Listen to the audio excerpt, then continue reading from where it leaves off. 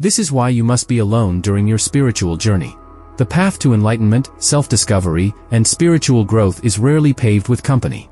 While supportive communities and wise guides can offer valuable insights, there's something deeply transformative about venturing into the unknown alone.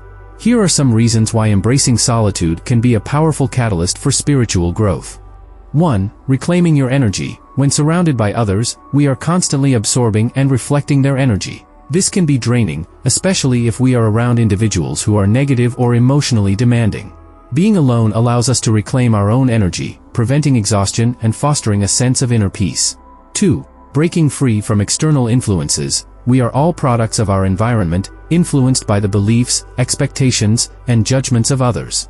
Spending time in solitude allows us to break free from these external pressures and reconnect with our authentic selves. This can lead to a deeper understanding of our values, desires, and purpose. 3. Hearing your inner voice. The constant chatter of the world can drown out our inner voice, leading to confusion and uncertainty. When alone, we can finally hear the whispers of our intuition and tap into the wisdom that resides within us. This can guide us towards making decisions that are aligned with our true selves. 4. Facing your shadow self. Our shadow self is the part of us that we keep hidden, often due to fear or shame. When alone, we are confronted with this shadow and forced to acknowledge its existence. This is a crucial step in the healing process, as it allows us to integrate our shadow and become more whole. 5. Cultivating a deeper connection with the divine, whether you are religious or spiritual. Solitude provides an opportunity to deepen your connection with something greater than yourself. This can be experienced through prayer, meditation, or simply spending time in nature.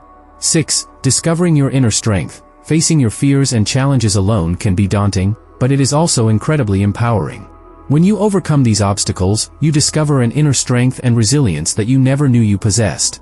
7. Learning to love yourself. One of the most profound lessons of the spiritual journey is learning to love and accept yourself for who you truly are.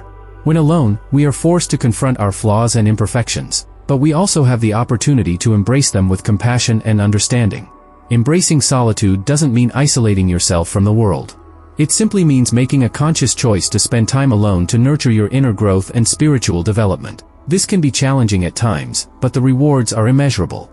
So, remember, the next time you feel the urge to retreat inwards, don't resist it. Embrace the silence, listen to your inner voice, and discover the transformative power of being alone. Please subscribe to your